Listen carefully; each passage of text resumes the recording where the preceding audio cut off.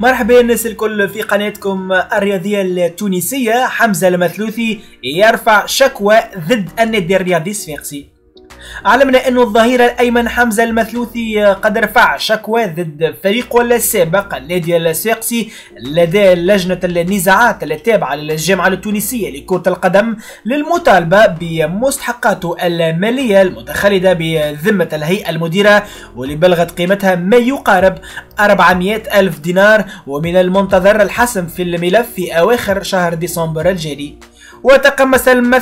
زي نادي عاصمة الجنوب منذ جويلية 2016 إلى غاية جوان 2020 توج خلالها مع الفريق بمسابقة كأس تونس عام 2019 ويشار إلى أن نادي الزمالك المصري أعلن اليوم الأربعاء 2 ديسمبر 2020 عن ضم حمزة المثلوثي بعقد يمتد لثلاث مواسم في صفقة انتقال حر بعد نهاية عقده مع النادي الرياضي السيقسي